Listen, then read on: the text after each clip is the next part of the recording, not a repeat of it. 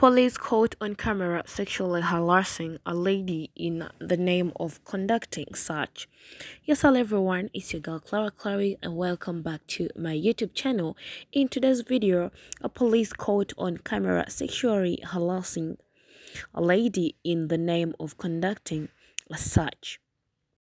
A police officer of the Ghanan Police Service has been caught on camera sexually harassing a young lady seated in a car.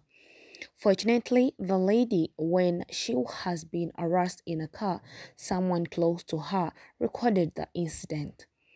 The police were touching the thighs of the girl in the name of conducting a search when she complained. He justified it by saying the girl is wearing a short dress. The video of the incident was posted on social media as the victim pleaded that he bled the public to help identify the police officer in the act. As expected, social media users made the viral go the video go viral on all social media platforms while calling on Ghana Police Service to act swiftly.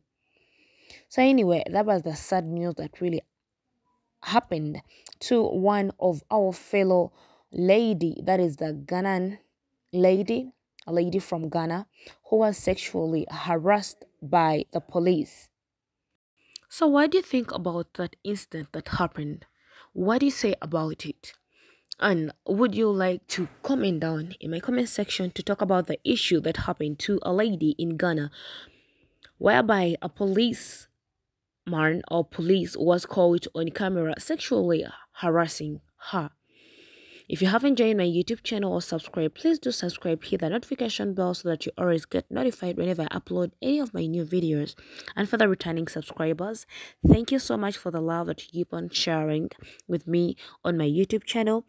I remain your girl Clara. Ciao, ciao. Love you and bye-bye.